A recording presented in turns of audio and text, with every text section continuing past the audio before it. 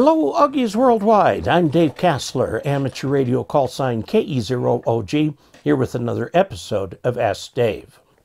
This question comes from uh, Jim Fox, N7ENI. And he is building an antenna, and I found the page in QST where he's building the antenna from. And he just wants to know is it just a bottom loaded vertical antenna? Since the twin leads are twisted together, is there more information about this antenna? Uh, so, before we answer the question, and we're going to take a look at the actual article, I'd like to pay a special thank you to Charlie Gehring, who is uh, my most recent patron. You too can become a patron of this channel by going to dcasler.com slash KE0OG. Now, let's look at that question. Okay, this is the article that we're looking at. This was in the March 2014 QST. And the idea was to get on 160 meters. Yeah. Okay, the thing about 160 meter vertical is if you want to create a true 160 meter vertical off the ground, it's got to be one quarter of the wavelength. Okay? In 160 meters, which is the wavelength, approximately, divided by 4 to give you quarter wavelength is 40 meters. Now 40 meters you can multiply by approximately 3 to get the number of feet, which would be 120 feet. It's actually closer to 130 feet high. So that's how high this thing would have to be 130 feet from there to there. And normally, when people do antennas like this, they use tower material to put up something like that. It has to be guyed, uh, you know, all of this sort of thing like that. We're talking about a serious proposition here. The feed point problem at the bottom is you either have to insulate the bottom from ground or do some kind of a gamma match over here, it gets difficult to do that. That would give you a very nice vertical on 160 meters. And if you've got the money to build a 130 foot tower, have at it. However, you can do something that works sort of as well. Uh, what this guy did was he took um, a, a dipole that he had. It was well, let's see, it's a hundred foot uh, top, so it was uh, more like a Carolina Windom, fed with ladder line. Okay, down at the bottom, he hooked those together, so that means this whole thing is resonating together, and he put a loading coil in the bottom. Well, that's not enough. Here's a picture of the loading coil, by the way. The other thing is in addition to lowering it or loading it at the bottom, in other words, if you have too short an antenna, it appears capacitive right here. So you can put inductance here to bring that back into resonance. Now, the it will work almost as well as a vertical, except you'll have a narrower bandwidth. Now, it is also not as well known that if the antenna is too short, and this is only 25 feet, you can add capacitance at the top. Okay, so what this guy is doing, he's got a, a uh, kind of like a Carolina Windom, and he's got, this is 100 feet, okay, and he's tying this together, so this makes this a vertical instead of a transmission line and horizontal antenna. And he puts loading coil down here. Now, it's well known if you have an antenna and the antenna is too short, you can add loading or inductance at the bottom of the antenna. You've got your antenna as high as you can get it. And if it's still not high enough, you can do the opposite of what you do here up here, you can put out, uh, put a capacitor on top. Well, well, how do you do that? You put wires out that are go away from this perpendicularly. You can do it in multiple directions if you want. Okay. Uh, but what he chose to do was to use a very long piece of wire that he already had up there, which is 100 feet tall, and this used to be fed by ladder line, so he just connected those together.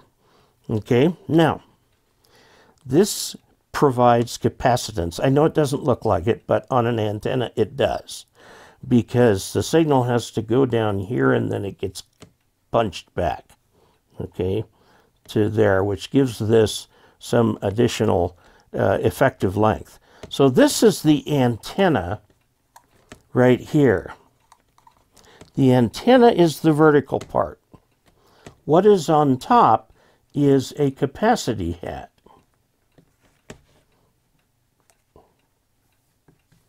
Okay? And then you have the loading down here. So you have a 25 foot piece of wire instead of the 100 foot or 140 or 130 foot tower. So it's obviously much smaller, much more approachable. Got a couple trees, you can just hang this over here.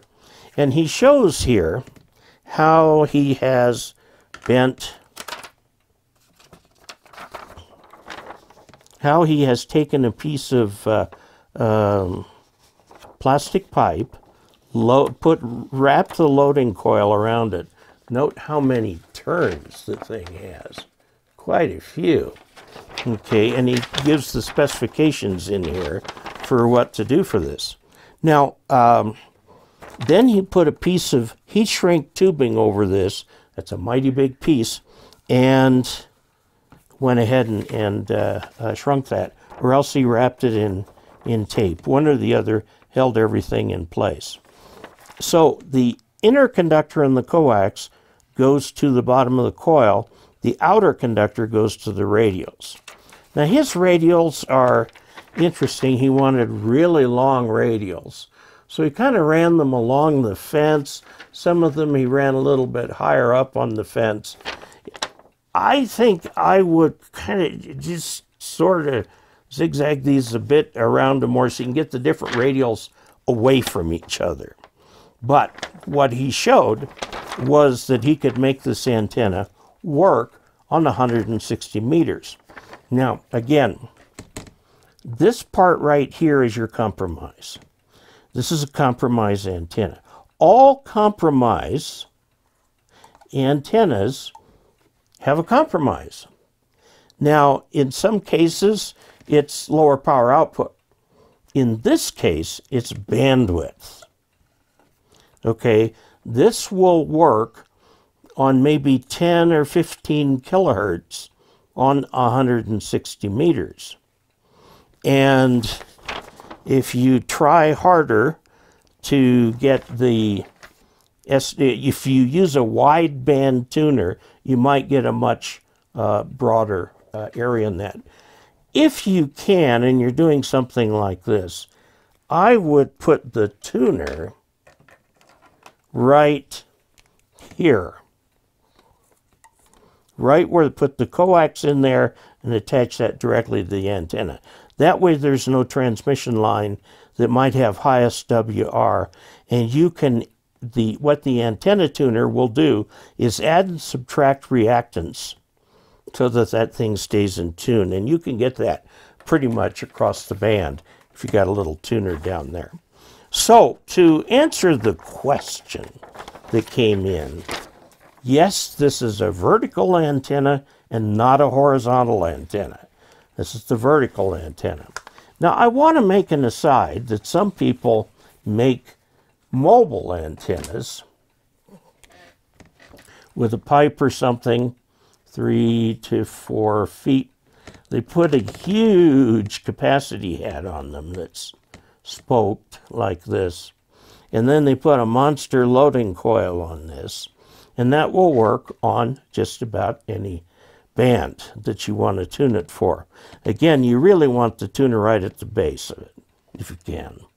Now, the problem with this is the only part of this that is properly radiating is this part in the middle.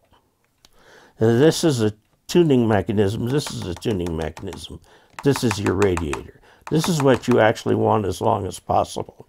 Now, the problem here is not only bandwidth, but because it is so short, uh, you have losses in here. The radiation resistance goes down, down, down as you do this, okay? So, uh, just a thing to keep in mind as you're making uh, mobile antennas. There are lots of designs for mobile antennas. So, by the way, this came from the March 2014 edition of QST. Can you still get that? Yes. If you go onto the league website, go to QST, it'll bring up all the QSTs. We'll just show it over here. This is the draft of the uh, May article, the May Ask Dave.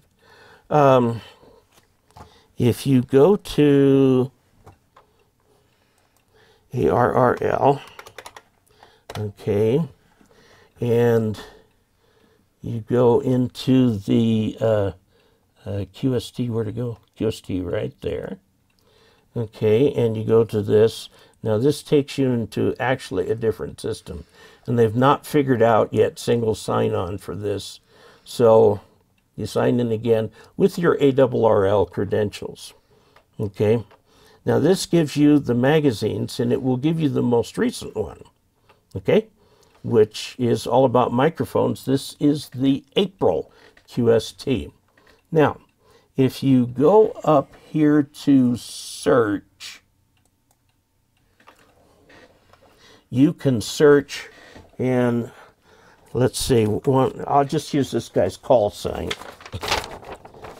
WB2HTO. WB2HTO. Okay, and you search all editions, and it tells you in July 2014, there's an article. Here's the March uh, 2014, March 2014, page 38.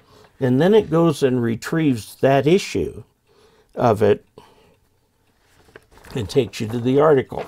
This is exactly the article that I was using here. And you can, of course, make that full screen if you want to see it, uh, or you can uh, print. The print's a little funny. Um, when you print, it shows every page of the issue. So you have to go down to where the article is on page 38. Okay, it's there. And there you click those two, select print, and then you know where to go from there. Okay? So, um, that's what you can do. Now, if you go back too far on QST, you have to go into the old system. Um, let's see. The old, uh, let's see, there, used, there is a Here's the QST archive here through 2011. From 1915 to 2011, you can go to that archive and it searches in a different way. It searches by article, okay? And it's a little harder to find things, but you can find things in here the usual ways by call sign, date, month, page, whatever, and uh, find what you're looking for. So yes, QST archives are quite available, and you can look forward to my May uh, issue of this. And there's a picture of a solar panel of mine. So there we go. Okay. Okay, Jim, there you go. That hopefully will answer your question and provide a little additional information about how to deal with compromised antennas. And good luck with your project. You can certainly make that uh, antenna and make it work for you you uh, will find that it will have a low SWR only in a certain frequency range. But if you have a wide range tuner, especially one you can put at the base of the antenna, you'll be doing great things with that antenna. You can probably tune it on other bands too if the, it's a very wide range tuner. So, there you have it. if you would like to help support this channel, probably one of the best ways is to subscribe. And then you can click like. And then you can click the bell so you'll get notified of future videos. Also, tell a friend. Uh, tell somebody about this channel so that they'll come take a look. The uh, address for this channel is youtube.com uh, slash Dave Casler, all one word, D-A-V-E-C-A-S-L-E-R. Okay? And if you would like to help support this channel financially, go to dcasler.com slash support and find a way that works for you. I'm kind of pushing Patreon right now because they have a very good user experience for you. And until we next meet, 73.